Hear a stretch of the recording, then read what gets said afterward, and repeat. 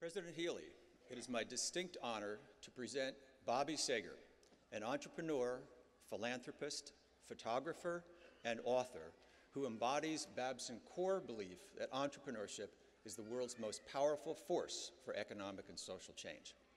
Bobby, you graduated from Brandeis University with a degree in economics, and then from Yale University with a master's degree in management.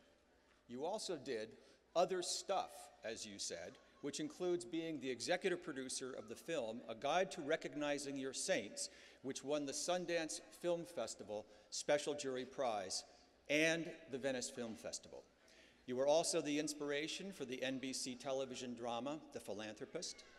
You led the transformation of Gordon Brothers from a small Boston-based jewelry business into a multi-billion dollar financial services organization. You and your family then formed the Sager Family Traveling Foundation and Roadshow. This has taken you on a all on a worldwide journey and to, to, learn things in your own lives, to change the lives of people around you, and to deliver hope in places where hope is scarce.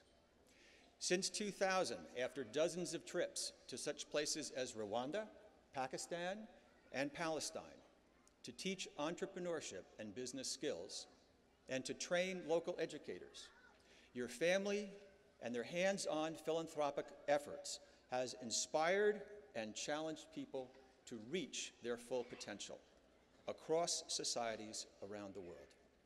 You have been honored by the Young Presidents Organization, a group with more than 21,000 young CEO members representing 125 different countries, as the first recipient of their Global Humanitarian Award, as the author of The Power of the Invisible Sun, and as a photographer whose art, art has been viewed by more than 4 million people around the world, your words and images focus attention on and bring hope to some of our world's most dangerous places. You have been invited to address the United Nations General Assembly. You had introduced Tibetan monks to Western science with your friend, the Dalai Lama. You challenged prisoners who participated in the Rwandan genocide to trade conflict for understanding. You call this eyeball to eyeball philanthropy. You work tirelessly with full commitment to create positive change at both a personal and a global level. Today, we honor, celebrate, and welcome you as a member of the Babson College community. Thank you very much.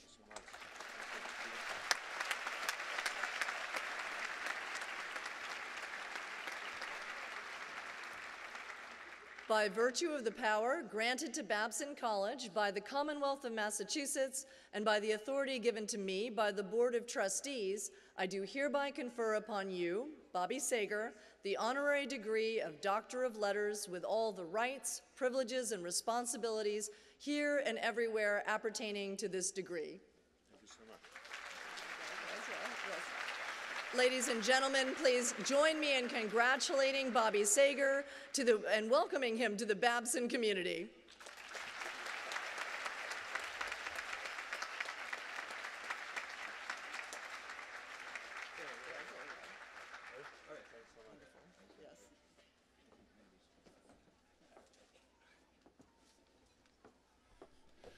Everyone.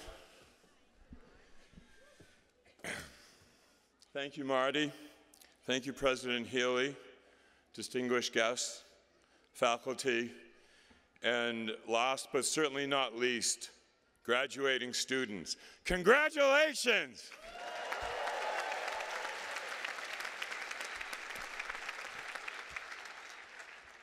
It really is an honor to be here today entrepreneurs play such an important role in the world.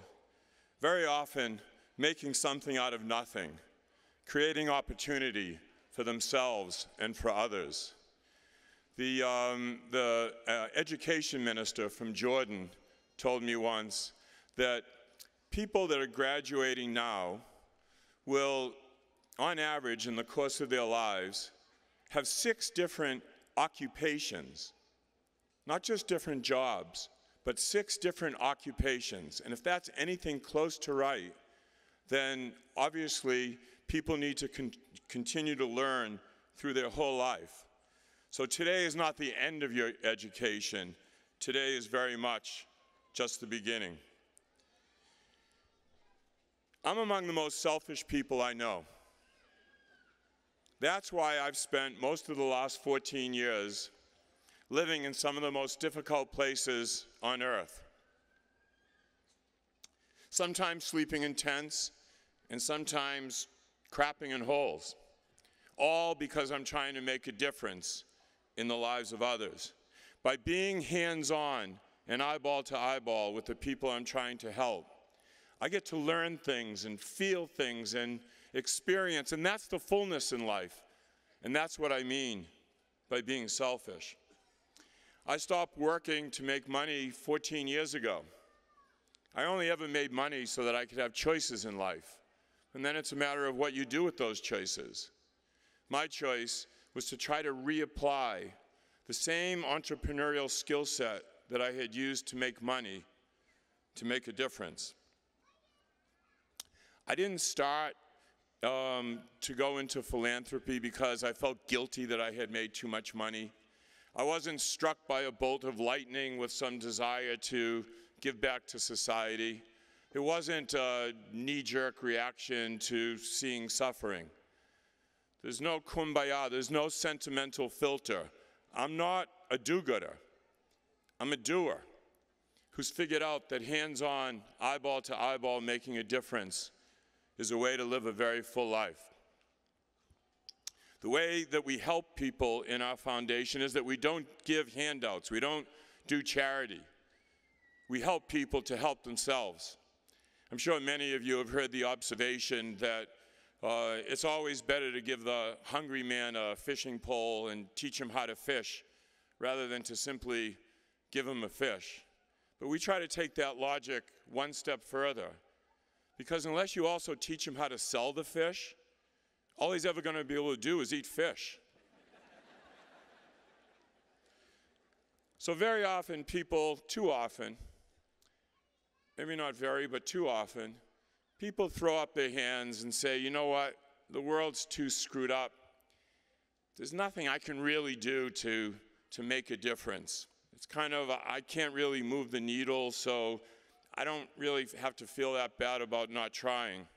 What I came here today to ask you to consider is the idea of what I call concrete baby steps. Concrete baby step, just pretty much the way that it sounds, well, an example of it would be to be someone's mentor, to give someone a computer, to, to serve on a committee, uh, or to just give people hope. And the point is, if I do my concrete baby steps, and you do yours, and you do yours, and we all do ours, that cumulatively, when you add all those up, that may be the very best chance that we have of achieving real sustained change.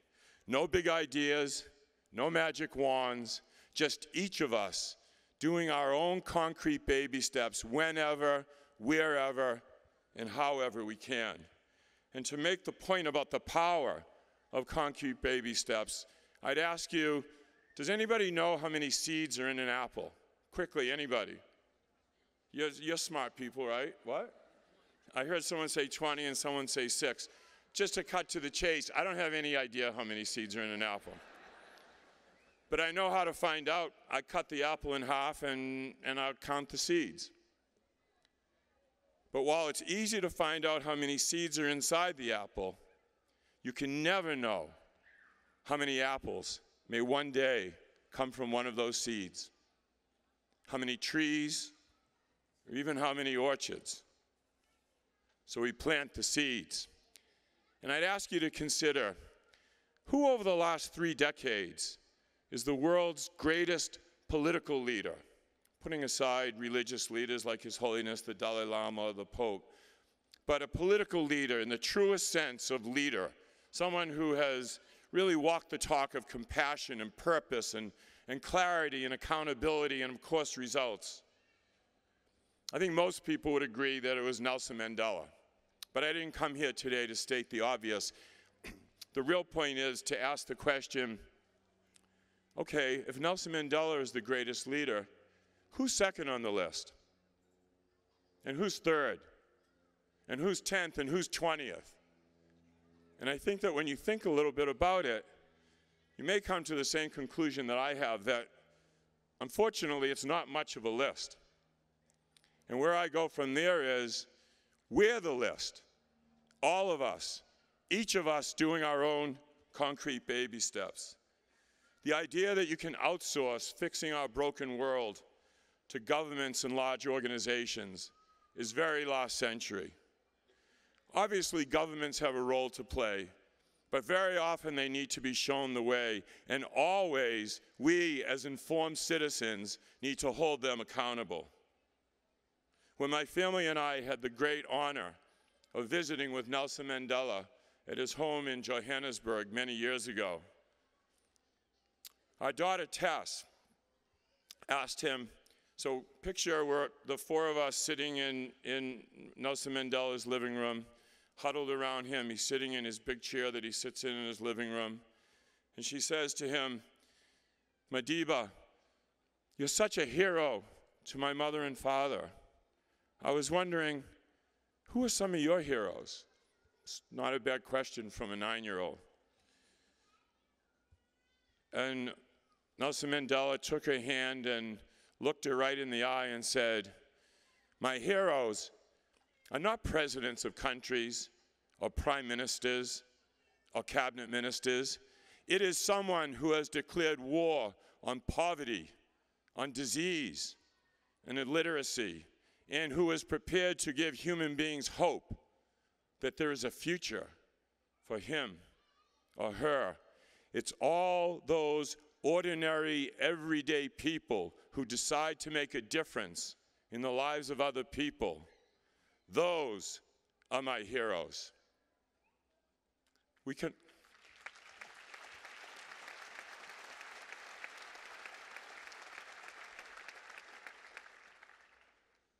We can all be the heroes that Nelson Mandela so admired. Hope is the most important thing that people need to move forward. The slightest ray of hope can ignite the human spirit's ability to overcome. I know that giving people hope can sound like some kind of soft and cuddly cliche, but actually, from my experience, hope is strategic. Hope is a lifeblood. Hope isn't just nice, hope is a game changer. I want to show you in a, in a minute, for anyone that's queuing this, a brief video of some of my photographs. It just takes one minute uh, from the book uh, that Marty mentioned, The Power of the Invisible Sun. Invisible Sun is a metaphor for hope. The kids that you'll see live down alleyways in remote villages and in some cases in war zones. They are child soldiers, refugees, and just plain kids dealing with unimaginably difficult lives. It's hard to be happy unless you're thankful. And it's difficult to be thankful without some context to appreciate what you have. The kids that you're about to meet provide us all context on steroids. Think about how much we all take for granted. Gratitude is as critical to life as breathing. How do we engage each day with optimism and wonder? How do we make each day more vivid? The hope that you see in these kids' eyes is their gift to us, a light to ignite our optimism and perhaps even our action. Play the video, please.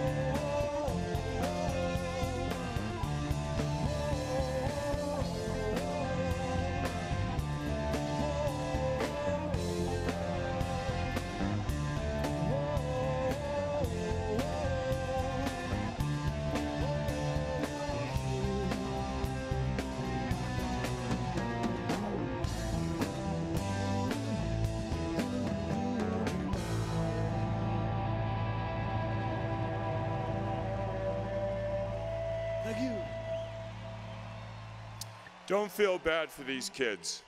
They don't want your pity. I didn't show you their images today so you'd say, oh, look at those poor kids. I, I want to give them a hug. Hopefully, you take strength from their strength. You feel more thankful in your own lives.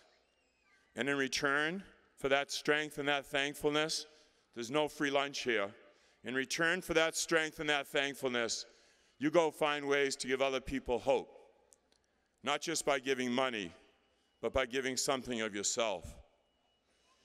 We're entrepreneurs. We make stuff happen. That's who we are. That's what we do. As you change the world, you change yourself. And as you change yourself, you change the world. So now it's time to stop talking. This is your time. The world awaits. Go make a difference. Go make magic. Go make a lot of money.